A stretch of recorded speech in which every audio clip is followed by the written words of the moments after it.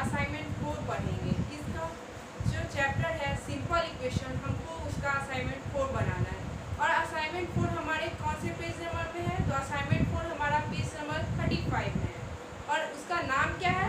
Solving मोर equation इसमें हमको equation को सॉल्व करने के बारे में हम लोग को सीखना है, जो कि हम लोग सिंपल इक्वेशन में यही चीज़ को सीखे कि हम लोग इक्वेशन को सॉल्व कैसे करते हैं। तो चलिए क्वेश्चन नंबर वन का वन देखते हैं। आइए।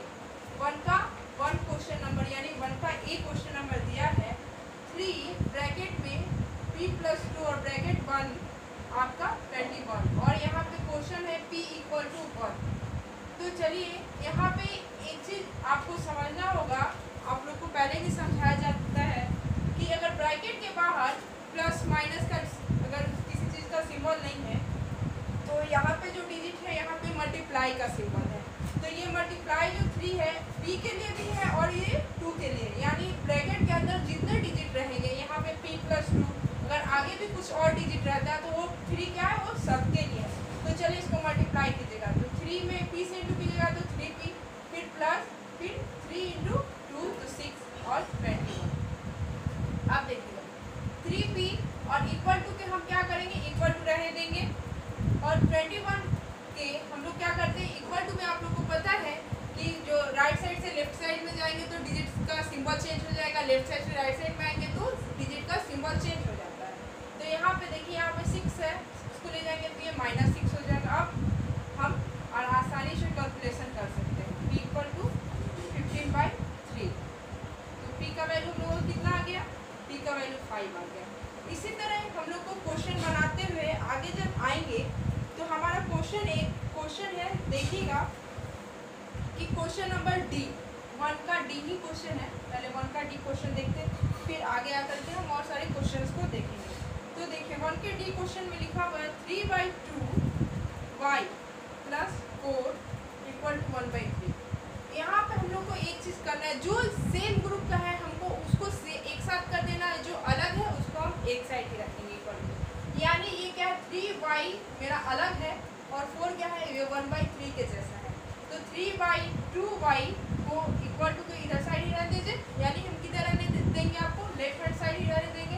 ये वन बाई थ्री और फोर को अगर जब इक्वल टू के राइट हैंड साइड ले जाएँगे तो फोर का सिंपल चेंज हो जाएगा। अब ये क्या हो गया? थ्री बाई टू बाई यहाँ क्या हो जाएगा? वन लगा दीजिए। ये क्या हो गया? फ्रैक्शन का हम लोग का सब्ट्रैक्शन हो गया।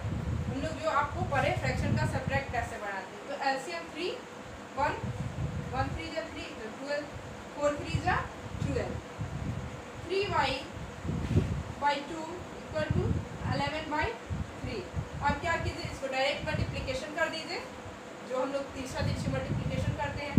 तो ऐसे ऐसे मल्टीप्लीकेशन कीजिएगा तो three y into three equal to eleven into two यानी अलेवन क्या हमारा माइनस वन अब यहाँ से जो थ्री वाई इंटू थ्री उसके बाद जो एलेवन बाई टू है, यहाँ से हम क्या करेंगे, अगर वाई को कॉमन लेते हैं हमारा जो थ्री बाई थ्री जो है, ये क्या हो जाएगा? सारा चीज़ बटे में चला जाएगा और आंसर हमारा ये हो जाएगा।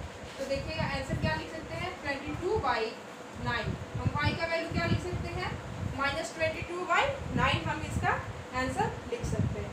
अब क्वेश्चन नंबर हम आते हैं टू तो देखिए टू का क्वेश्चन कहता है टू का बी नंबर क्वेश्चन देखिए। टू का बी नंबर क्वेश्चन सेम आपको ये वाला क्वेश्चन है। ठीक है?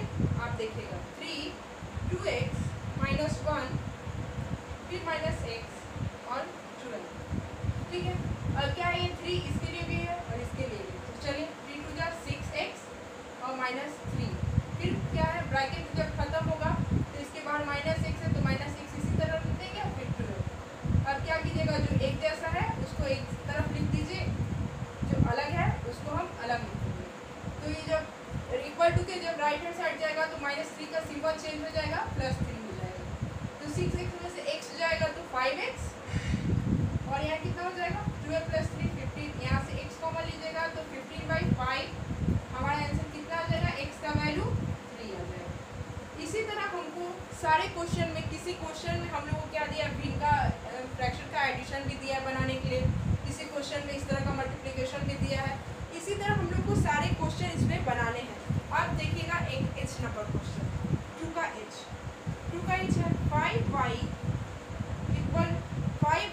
minus 1 by three equal to thirteen by three यहाँ पे देखिए फाइव बाई को कॉमन कर लीजिएगा, क्योंकि फाइव बाई सिर्फ़ अकेला है। और ये वन बाई थ्री का हम इक्वल टू के राइट हैंड साइड भेजेंगे तो ये क्या हो जाएगा? प्लस थ्री हो जाएगा। और थ्री और ये